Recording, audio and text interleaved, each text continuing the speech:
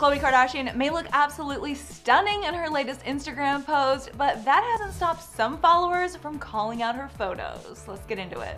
Over the past few weeks, Khloe Kardashian has been enduring yet another Tristan Thompson related scandal after we learned that he fathered another child with personal trainer Maralee Nichols. Now, Coco is making headlines again for her latest carousel of Instapics. In the snaps, Khloe is seen with a chic 90s esque blowout wearing a glittering bodycon mini dress. While many followers in the comments were here for the pics, many others were fixated on the very first photo that appeared to be glaringly tampered with. This person commented, I know I ain't the only ones to see them hands though.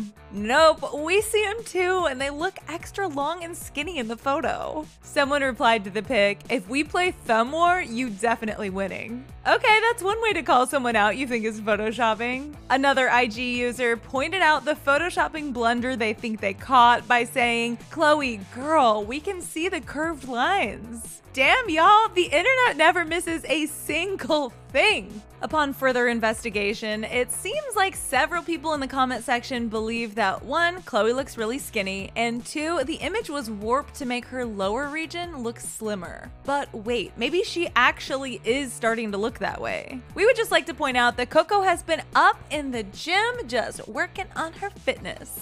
Either way, we still don't have an explanation for why her hands look the way they do. I kind of think it could be the short sleeve mixed with the length of her nails that really pronounces the length those fingers. Even with all the calling out and hate Khloe was getting in the comments, there were still lots of people who showed her love on the post. One fan said, so beautiful, and another replied, absolutely love your hair color. This person praised Khloe with, I don't think you ever look better, and so much of that comes from within.